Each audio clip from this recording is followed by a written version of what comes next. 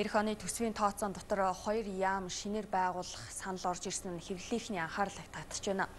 Эдийн засгийн хөгжлийн яам, цахим инновацийн яамыг шинээр байгуулахдаа одоогийн агентлагуудын бүтэц орон тоог нэмэхгүйгээр зөвхөн статусыг нэмэх зохицуултыг хийнэ гэсэн тайлбар гарч байна.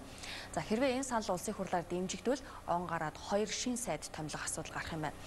Энэ сэдвээр манай сэтгүүлч улсын хурлын гишүүн Бямт цагтоос тодруулан ярилцсан байна төрийн бүтцийг цомхон болгоё гэж байгаа мөртлөө хоёр яам шинээр байгуулна гэдэг чинь юу гэсэн үг юм бэ гэсэн юм асуудал байна л да. Энд дээр та тайлбар хэлэхгүй юу? За 2010 оноос хойш бид нар үндсэндээ 10 жил ярьж байж 2019 онд үндсэн хуулийн нэмэлт өөрчлөлт хийсэн. Ингээд бол өнөөдөр бас Монгол улсын өнгөрсөн 30 жилийн хөгжлийн түүх алдаа оноо сургамж дээрээс үндэслээд бид нар үндсэн хуулийн нэмэлт өөрчлөлт оруулсан. За энэ хүрээндээ бол хамгийн гол асуудал бол бид нар Монгол төрийн бодлого, тогтвортой, залгам чанартай тодорхой байх хэрэгтэй байна гэдэг асуудлыг үндсэн хуулийн нэмэлт өөрчлөлтөөр бид оруулж өгсөн. Үүнийг хэрэгжүүлэхийн тулд хөгжлийн бодлого төлөвлөлтийн тухай хууль баталсан. За хөгжлийн бодлого төлөвлөлтийн тухай хуулинд бас тийм хөгжлийн бодлого төлөвлөлт эдийн засгийн хөгжлийн яам гэжтэй байгуулъя гэдэг асуудлыг оруулсан байсан 20 онд байгуулагдсан засгийн газар маань одоохондоо одоо энэ эдийн засгийн хөгжлийн яам байгуулах шаардлагагүй байна гэдэг байдлаар тэр хуулийн өөрчлөлт хийсэн энэ яамыг байгуулаагүй. За энэ яамыг байгуулах нь зайлшгүй чухал юм байна гэдэг асуудлаар одоо бас өнгөрсөн цаг хугацаа харуулж харагдаж байна.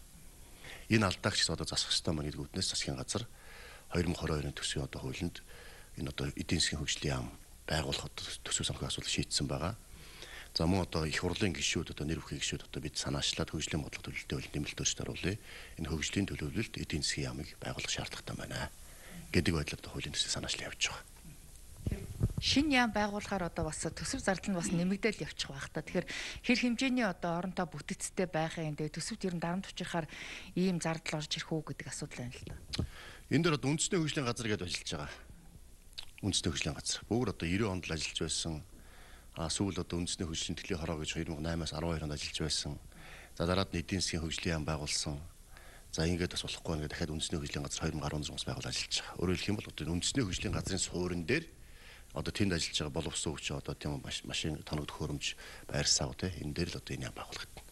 Тийм болохоор одоо юу гэдэг нь төсөвтний хайхтар том одоо дарамт учраад байхгүй гэж харж байгаа. Өөрөөр хэлбэл одоо бүтэц оронтой төдийлөн өөрчлөгдөхгүй зөвхөн одоо агентлагийн одоо статусыг нэмэгдүүлж байгаа гэж болох уу? Яг тэгж ойлгож болно. Одоо энэ бас сахин бодлогын хөгжлийн яамч гэсэн бас ялгаа байхгүй. Одоо энэ тэгэл мэдээлэл харилцаа технологийн газар гэдээ байж гин харилцаа холбооны зохицуулах зөвлөлгээд байж гин За мөн одоо цааталт нь тийм үү бас одоо юу лээ төрийн өмч компани гэдэг шүү дээ. Гэх мэт одоо мэдээлэл технологийн салбарт олон одоо агентлаг олон одоо төрийн өмчт байгуулга ажиллаж байгаа. А тэгвэл эдгэрийг нэгтгэл инновац цахим хөгжлийн яам байгуулах.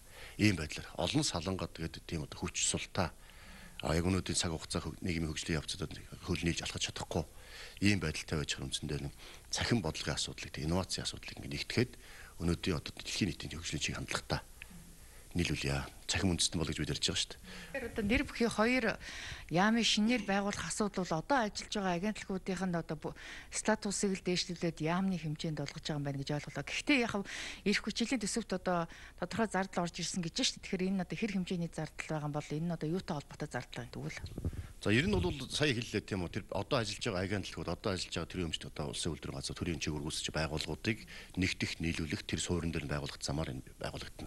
А тийм болохоор байр савны гэдэг юм боловсон хүчнэ гэдэг юм уу тоног төхөөрөмж гэдэг юм уу тийм одоо ихээхэн хэмжээний төсөвт дарамт учраа зардал бий болохгүй.